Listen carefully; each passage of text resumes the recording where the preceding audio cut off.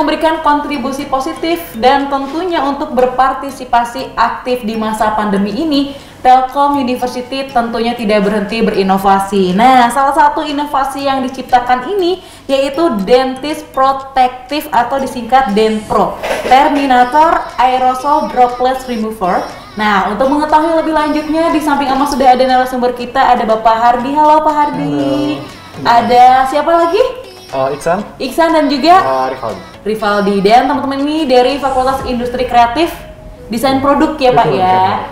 Dan Pak Hardi ini selaku dosen di FIK tentunya Pak ya. Jurusan desain produk. Desain Produk juga dan yang memimpin proyek ini kah?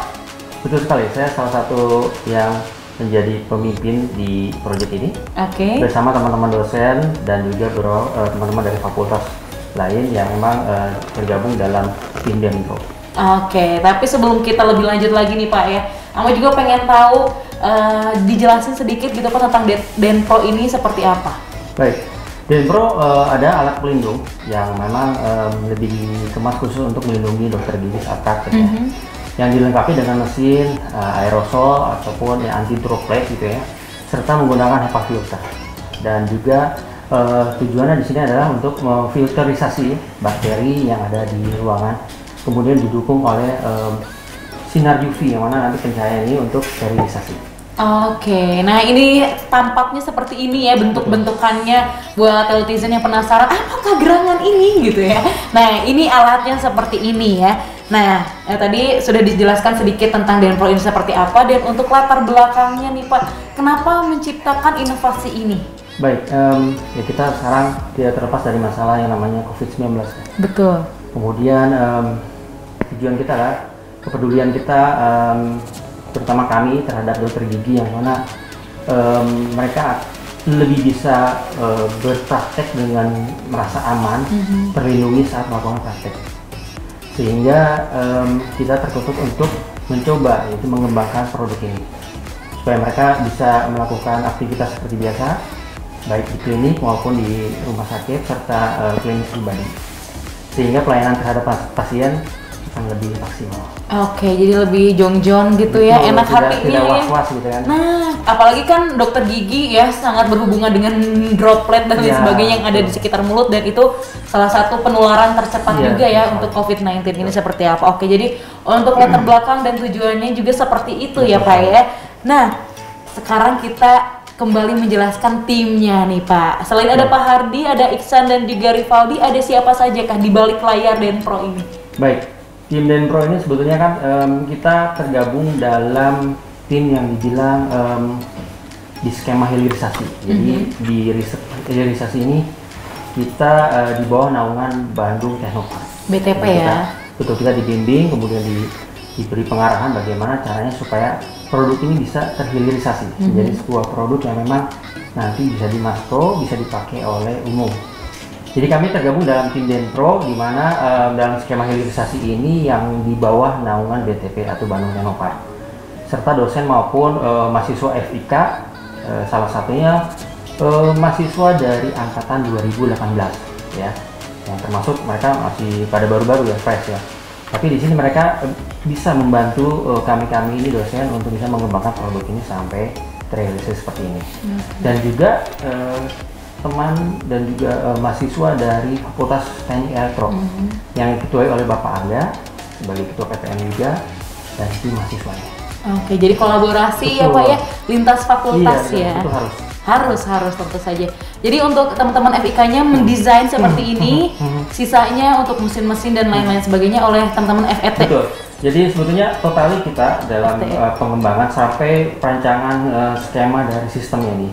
Cuman kita uh, minta dukungan dari teman-teman Fakultas Teknik Elektro. Oke. Bagaimana kira-kira suatu sistem yang ideal gitu. Sehingga pengerjaannya kurang lebih 80% kita Fakultas Teknik eh, Fakultas Industri Kreatif dan 20% dari teman-teman elektro. Elektro ya. Dan untuk proses pembuatannya sendiri berapa lama nih Pak? Dari kapan kalau boleh tahu? Ya, sebetulnya karena waktu itu eh, sudah mulai pandemi ya, eh, dan memang kita eh, mau bertemu secara intens dengan mahasiswa dan teman-teman lain agak susah ya.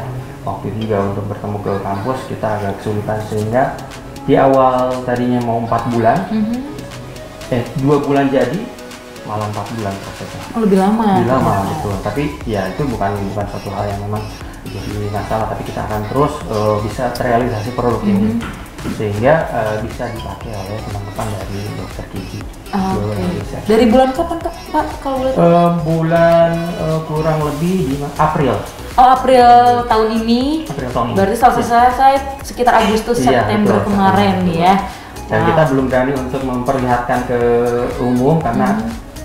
unitnya masih belum maksimal Tapi sekarang kan diumumkan juga nih biar pada Iya, tahu kan kalau Telly punya seperti ini Betul. untuk para dokter gigi di luaran Iya, sana tentunya. betul. Nah, sekarang Ama pengen nanya ke teman-teman mahasiswanya boleh mau Rivaldi atau juga Hmm. Iksan boleh sweet? mau siapa dulu ya? Kan Pengen tahu juga nih alat kerjanya ini seperti gimana nih? Oh gitu. Eh, untuk eh, sistem mekanisnya dari si alat ini sebenarnya bisa dibilang cukup sederhana ya mbak ya. Mhm. Karena eh, eh, mesin ini tuh eh, di dalamnya itu ada ada perangkat turbinnya buat nyedot udara Mhm. yaitu Kayak vacuum cleaner gitu nggak sih? Iya kurang lebih Oh, kayak gitu. oke. Nah nanti di di dalam mesin ini ada filtrasi lagi di dalamnya itu ada terdiri dari eh, lampu UV, Mhm. terus ada HEPA filter juga. Jadi dari input eh, itu masuk Mhm. sampai keluar itu disaring juga, jadi aman gitu. Oh, Oke, jadi udara yang udah kesedot ke sini tuh terfiltrasi di dalam Hmm. Betul. dan keluar jadi bagus Udara lagi yang bagus gitu lagi ya. ya, karena filtrasinya ada dua. Jadi Oh, intake oke. sama outtake-nya ada filtrasi. Di dalam tapi ya. Betul. Oke. Itu sedotnya dari mana? Ah, Dari Dalam ini? nozzle yang di depan. Oh yang ini, yang Iya. kolong ini ya. Oke baik, itu untuk sistem kerjanya. Nah selanjutnya nih Pak, eh, sebelumnya nih, Ya. apakah Telio sendiri atau ada mungkin dari kampus lain Hmm. yang sempat membuat alat yang serupa? Misalnya Hmm. kalau udah ada nih, adakah pembedanya seperti apa dengan yang dibikin oleh teman-teman di Telio? Ya ini sebetulnya bukan hal yang baru ya, sudah banyak dari rekan-rekan em, apa namanya dokter gigi eh, Indonesia, istilahnya perkumpulan dokter gigi Indonesia yang sudah mengembangkan alat ini. Namun masih belum maksimal karena eh, mereka bikin berdasarkan kemampuan mereka ya. Seorang dokter mengembangkan sesuatu yang sifatnya elektrikal dan segala macam itu kan bukan ranahnya mereka. Hmm. Tapi mereka dengan hebatnya bisa menciptakan eh, alat tersebut walaupun masih belum sempurna. Nah, kita terketuk hatinya mencoba untuk menciptakan eh, sebuah alat ini yang sistemnya mungkin bisa jauh lebih maksimal dibanding dengan sistem yang memang dibuat secara eh, DIY ya, do it yourself istilahnya seperti itu kan. Mhm. Kita mencoba eh, mengemasnya dengan baik sehingga eh, ada beberapa sistem yang tadi yang ada UVC eh, sanitizernya, kemudian ada eh, apa HEPA filter saya sebagai penyaring akhir sehingga secara sistem setelah disedot itu akan maksimal terbuang. Oke, jadi mungkin eh, pembedanya ini yang bikin bener-bener yang udah paham dari segi elektronya juga Betul. dan desainnya juga Ya, mungkin seperti betul. apa ya Pak ya? Ya, sebetulnya masih banyak hal di di sistem yang lain yang memang ada beberapa yang om, aktif secara mesin sudah bagus, tapi dari sedotnya masih kurang baik. Kemudian dari suaranya terlalu bising. Oke. Kita meminimalisir sehingga bagaimana supaya suara bising ini tidak terlalu eh, terdengar sekali karena kalau misalkan aktif di ruangan dokter belum tentu ruang dokter kan semua dengan ukuran besar ada yang Betul. ukuran kecil itu sangat bising sehingga antara dokter dengan pasien interaktif bisa ngobrol tuh agak susah. Betul, Nah, kita apalagi mencoba untuk mengaktifkannya supaya tidak terlalu bising. Nah itu dia, apalagi kalau bising kan kadang apalagi anak kecil kalau yang lagi di ruangannya Hmm. Iya. nanti kaget kan agak Betul takut sekali. juga mungkin ya. Tapi ini berarti suaranya tidak terlalu kencang gitu Insya ya Pak Allah ya? tidak terlalu kencang karena kita sudah maksimalkan eh, supaya tidak terlalu eh, kencang. Cuman ya kemarin ada beberapa masukan memang Mhm. masih terlihat atau masih terdengar suaranya. Ah, Oke. Eh, mungkin itu akan jadi pengembangan Oke selanjutnya. baik. Nah kalau untuk uji cobanya sendiri nih, Hmm. mungkin sebelumnya berarti pernah nih ya. Iya, hmm. Boleh apa pengen sama Ihsan nih, ud- udah diuji coba di mana dan gimana nih respon-responnya? Untuk uji coba sendiri karena keterbatasan kita ada pandemi juga ya, Mhm. kita udah uji di klinik Pratama Telkom Oke. uh, dan respon dokter itu mereka menyambut sekali gitu karena mereka juga ada yang menunggu, udah menunggu misal sudah praktek di rumah sakit lain dan mereka juga sudah minta ke rumah sakit, cuman uh, belum ada yang masuk karena memang ini tuh Apanya yang masuk? ini tuh mahal. Apanya? Sebutin aja nggak apa-apa. Ada dananya Iya, gitu iya, ya. iya, karena- Kamu suka ragu-ragu gitu ya? Hmm. Ini bisa dibilang kalau produk-produk dari luar sih emang uh, cukup mahal. Mhm. Jadi kemarin kita ada masukan-masukan juga dari dokter pas uji coba tuh uh, dari kebisingan suara, Hmm. dari ergonominya, terus dari ukuran dari warna juga bahkan kadang dokter pengen warnanya sesuai dengan kursi mereka Oh juga, my gitu. god, biar matching ya. biar matching, Baik, makanya mereka baik, banyak yang baik. seperti itu juga katanya Oke oke, tapi eh, aku juga pengen kepo kan tadi eh, Iksan sempat rada nyebutin nih ya. Hmm. Tapi pengen tahu juga nih eh, sejauh ini nih Pak boleh dikalkulasikan Hmm. kira-kira Iya. satu produk seperti ini berapa ratus juta kah kira-kira? Wow, ratus juta Enggak ya. enggak enggak ya enggak ya. Mungkin dari modalnya sendiri kira-kira aja Ya, Pak. em, sebagai gambaran mungkin karena yang sudah ada di pasaran itu rata-rata di atas 9 plus ya. 9 juta. 9 juta. atas 12 Kita mungkin em, akan mengidealkan harga bisa di bawah harga Oh baik. gitu. Oke. Sehingga dari beberapa em, rumah sakit, klinik maupun eh, tempat praktek pribadi itu bisa eh, terjangkau untuk membeli.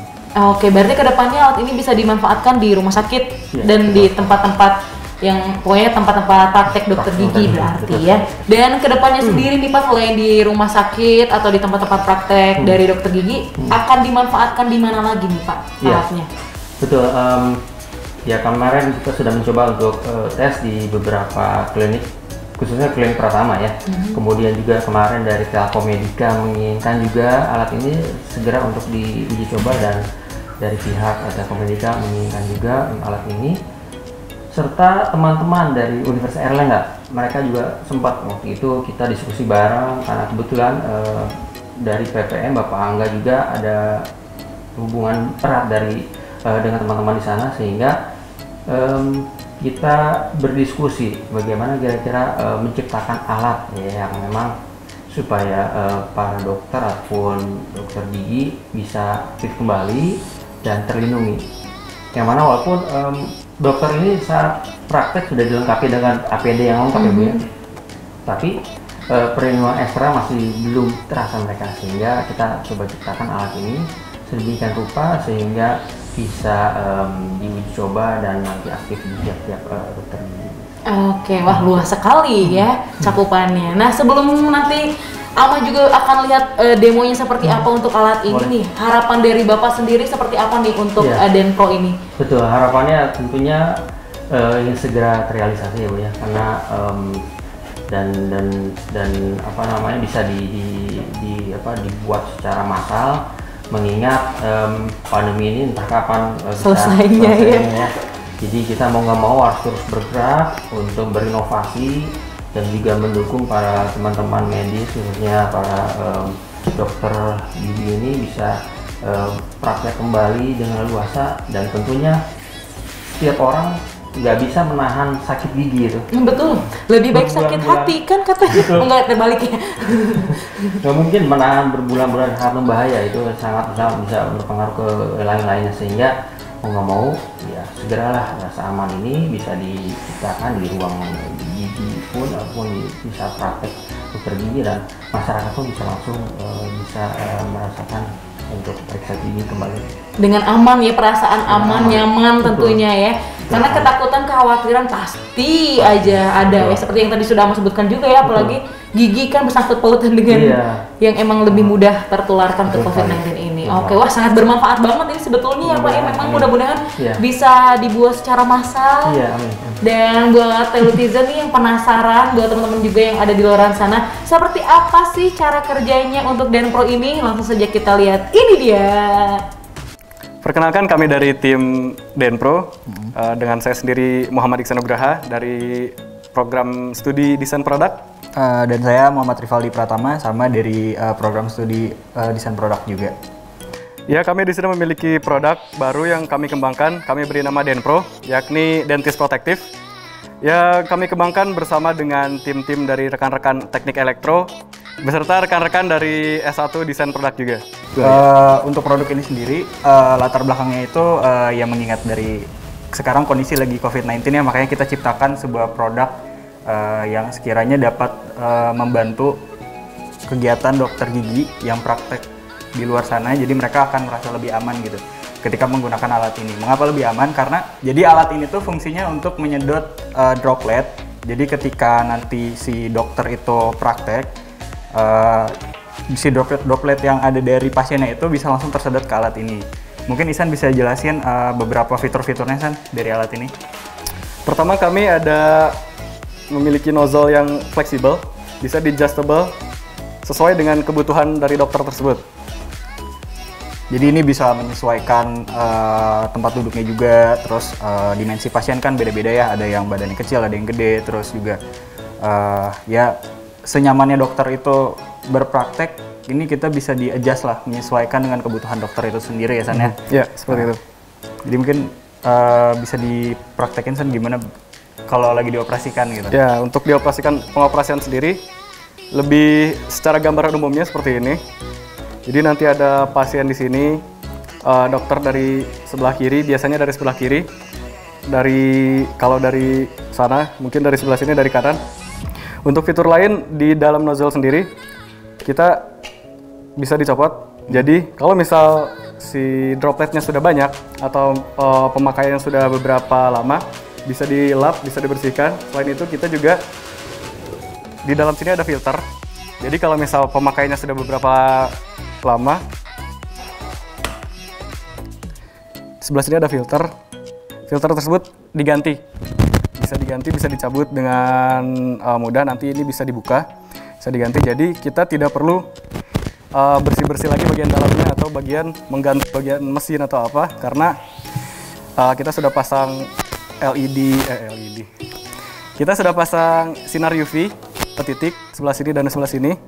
Lalu ada juga di sebelah sini, di dalam sini. Untuk penggantian filter sendiri ini nanti bisa dibuka dan ke depannya nanti kita kami akan membuat lubang-lubang juga di sini ventilasi untuk udara, udara keluar dan udara yang keluar itu sudah ber- berupa udara bersih ya. sih ya karena memang eh, sistem dari si produk ini sendiri eh, ada dua kali sistem filtrasi ya. Jadi Iya. pertama itu udara yang masuk itu kan udara kotor ya, droplet dan segala macam.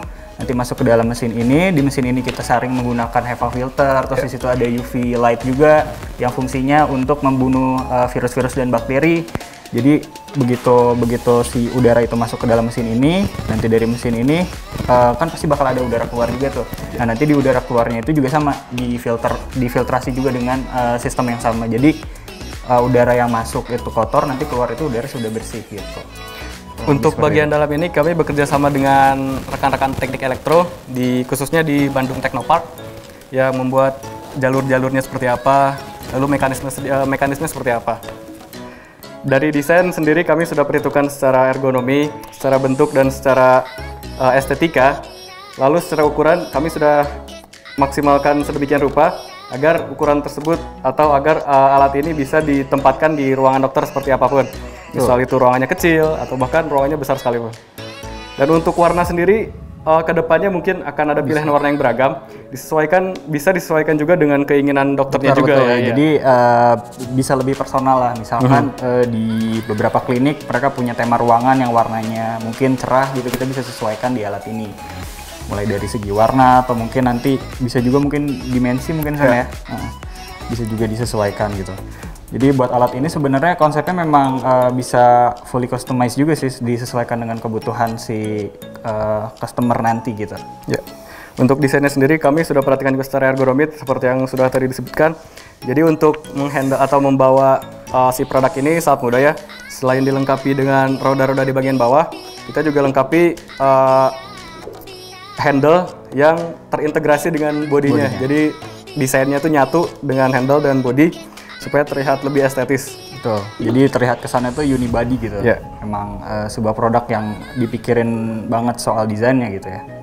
Karena kan gak sedikit biasanya produk-produk itu eh cuman nyari spare part yang udah ada terus ditempel-tempelin dan akhirnya dari segi visual juga agak kurang bagus ya San ya. Ya, seperti itu.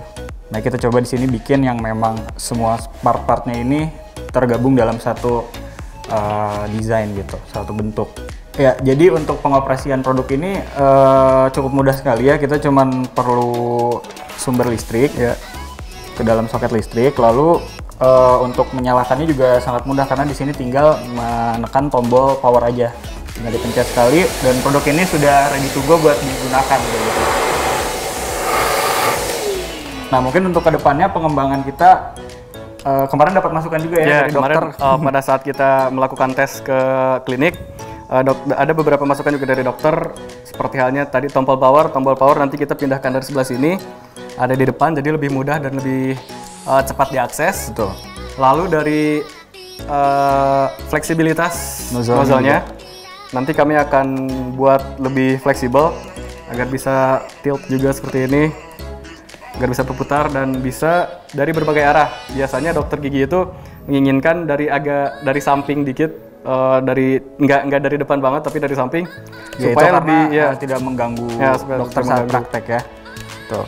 Dan dari segi suara sendiri kami akan usahakan lagi supaya lebih eh, lebih sunyi karena kemarin da- dari dokter gigi sendiri suaranya sudah lumayan cuman kadang kalau misal dokter sedang mem- memberikan resep sesuatu kepada ya, eh, pada yang lain pada pasien bahkan Iya. kadang ada kurang terdengar karena suaranya masih cenderung Berisik. Ah, berisik. Cukup berisik ya. Meskipun su- kami sudah usahakan, nanti kami uh, kasih Mungkin busa ya, peredam lagi di bagian ya, dalamnya seperti bisa. di dalamnya jadi suara dari bisa dalam banget. bisa di- te- kami atasi dengan baik. Selain itu juga sebenarnya eh, lebih ke arah psikologis pasien juga ya. Ada beberapa pasien yang kadang ketika mendengar suara mesin-mesin seperti itu tuh mereka jadi ketakutan gitu. Khususnya anak kecil ya San ya. Makanya kemarin dokter itu lebih concern ke arah suaranya. Kalau bisa direduksi lagi akan lebih baik lagi gitu. Untuk target pasarnya sendiri, kami menyasar dokter-dokter yang membuka klinik, uh, klinik-klinik atau mungkin bahkan di klinik Pratama, lalu dokter-dokter yang membuka praktek secara uh, perorangan ya pribadi. Dan kalau bisa kami juga di- menjadi distributor di untuk rumah sakit rumah Rumah sakit, sakit, ya, rumah ya. sakit. Kalau Betul, bisa itu different level. Cuman kami usahakan uh, bisa untuk menj- um, mendistribusikan produk ini ke rumah sakit rumah sakit. Betul. Lalu untuk harga sendiri, di situ ada selling point kami. Betul. Eh, Untuk harganya bisa dikatakan di bawah harga pasaran yang udah ada sekarang ya. Karena memang ini kan eh, tujuannya kita juga sebagai bentuk inilah ya San, apa namanya? kepedulian kita terhadap Ya. COVID-19 kayak gitu. Oke. Jadi untuk produk ini sendiri eh, apa namanya sistem penggunaannya itu kita bisa lihat dari sini. Di sini ada bagian intake. Nanti eh, si aerosol itu akan masuk dari sini em, melalui nozzle yang yang itu dari nozzle itu kita akan masuk lagi ke bagian dalam mesin. Nah di da- bagian dalam mesin ini memang proses utamanya ada di sini yaitu penyaringan eh, aerosol-aerosol yang mungkin ada virusnya atau kotor lah bisa kita katakan ya. Jadi di bagian dalam sini itu ada beberapa sistem penyaringan. Yang pertama ada lampu UV. Lampu UV itu fungsinya untuk membunuh virus-virus yang ada di udara. Nah, setelah dari proses UV filter tadi, eh, aerosol tersebut disaring kembali oleh HEPA filter dan charcoal filter. Eh, setelah itu, eh, udara akan keluar dari mesin tersebut, namun disaring lagi menggunakan proses yang sama. Fungsinya agar udara yang keluar nanti itu sudah Benar-benar berupa bersih, ya. udara yang bersih gitu. Jadi tetap aman juga buat eh, ditaruh di dalam ruangan yang sempit bahkan gitu. Kurang lebih seperti itu. Oke, bagi teman-teman yang ingin tahu lebih lanjut soal produk ini bisa eh, kunjungi website yang ada di bawah sini dan nomor yang ada di bawah sini. Oke itu dia obrolan bersama Bapak Hardi dan teman-teman juga yang luar biasa kan? Tadi udah kelihatan banget seperti apa. Jadi buat teman-teman yang pengen ngepoin boleh langsung aja hubungi Pak Hardi dan kawan-kawan juga. Makasih banyak untuk Teletizen yang udah nontonin Telita Sampai ketemu lagi